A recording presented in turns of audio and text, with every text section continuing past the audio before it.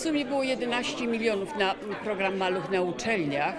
W tym e, 9 milionów wykorzystamy jeszcze w tym roku, w przyszłym roku. Chcemy, żeby tych środków było więcej i też, żeby więcej uczelni wyraziło zainteresowanie. Choć muszę powiedzieć, że i tak jesteśmy zadziwieni e, tym odzewem i szybką reakcją e, wielu uczelni. Widząc po zainteresowaniu uczelni wyższych, tych publicznych, niepublicznych, po zainteresowaniu studentów i e, tej decyzji, którą wspólnie e, podjęliśmy o stworzeniu i wydzieleniu specjalnej części na rzecz malucha na uczelni, takiego, takiego programu, który pozwala rozwijać te miejsca, e, jestem przekonany, że dostępność dla studentów, dla pracowników, blisko swojej aktywności zawodowej czy edukacyjnej jest krokiem e, w dobrym kierunku, a e, ta inicjatywa też była bardzo mocno e, wzmocniona przez studentów e, z NZS-u e, i za to im serdecznie dziękuję.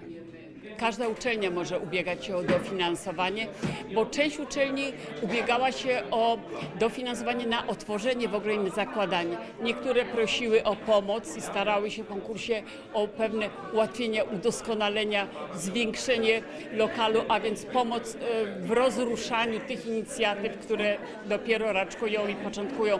Chcemy, żeby te e, żłobki na uczelniach które mogą być też klubikami, mogą być różne formy opieki. E, One objęły studentów, doktorantów, e, pracowników, a więc te żłobki uczelniane, które otwierały podwoje dla dzieci pracowników, teraz będą chciały przyjąć więcej osób i właśnie ten program był obliczony na pomoc studentom. To jest duży program, bo on obejmuje 150 milionów. Y, Maluch na uczelni to jest tylko jego część, sięgająca około 10 milionów.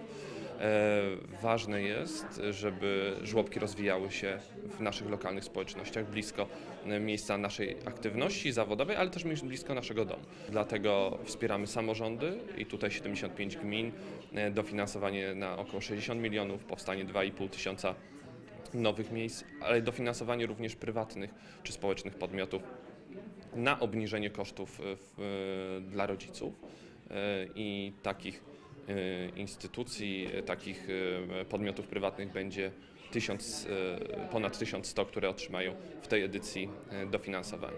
Musimy mieć więcej żłobków. e, Musimy te żłobki muszą być bardziej dostosowane i do dzieci, i do potrzeb też rodziców, które się zmieniają. Ludzie mają bardziej elastyczny czas pracy, różne oczekiwania i myślę, że też jest więcej oczekiwań wobec żłobków. Kiedyś oddanie dziecko do żłobka to było po prostu wstyd. Dzisiaj to jest konieczność. E, Żłobki są dobrze funkcjonują, zapewniają bardzo dobrą opiekę i coraz więcej rodziców chce z tego korzystać, a łączenie pracy zawodowej z rodzinną jest kluczowe.